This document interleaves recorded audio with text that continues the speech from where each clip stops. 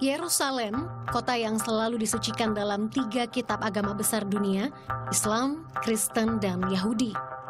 Dalam bahasa Ibrani disebut Yerusalem, dan dalam bahasa Arab disebut Al-Quds.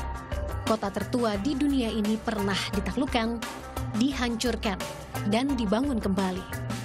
Kota ini menyimpan peninggalan bersejarah agama Kristen seperti Gereja Makam Kudus, Situs ini berada di tengah sejarah perjalanan Yesus mati, disalib hingga bangkit kembali. Sementara bagi umat muslim, terdapat tempat suci Dome of Rock dan Masjid Al-Aqsa, serta dataran tinggi Haram Al-Syarik.